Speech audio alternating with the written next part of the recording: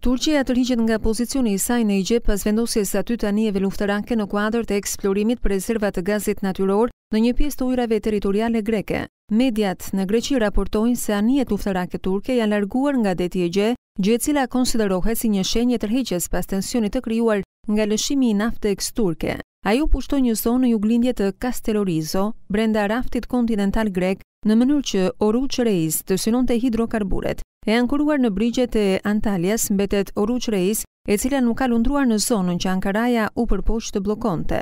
Sidoqoftë, flota greke mbetet në vend, duke monitoruar lëvizjet e anijeve turke. Më herët, presidenti turk, Rexhep Tajip Erdogan, Lëshoi kërcënime në të gjitha drejtimet. Ose dilni në fushë, ose nëse nuk keni një qëllim të tillë, filloni negociatat sa më shpejt të jetë e mundur.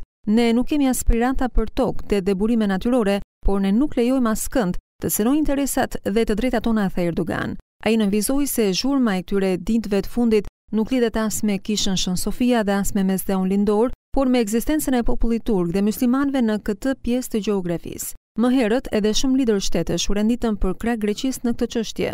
Në uljen e tensionit gjithashtu është përfshirë edhe kancelarja gjermane Angela Merkel, e cila pati biseda telefonike me liderët e të dy vendeve. Ankaraja zyrtare kishte deklaruar se pretendimet e Greqisë në raftin e saj kontinental janë në kundërshtim me ligjin ndërkombëtar Ndërsa marina ushtarake greke u vu në gjendje alarmi, teksa shtatëmbëdhjetë anije turke, mes tyre edhe luftarake, kanë lundruar në ujërat greke për të shoqëruar anijen turke Oruç Reis, e cila do të kryente studime hulumtuese në kërkim të hidrokarbureve në Mesdheun Lindor, në një zonë që Ankaraja e konsideron pjesë të raftit të saj kontinental.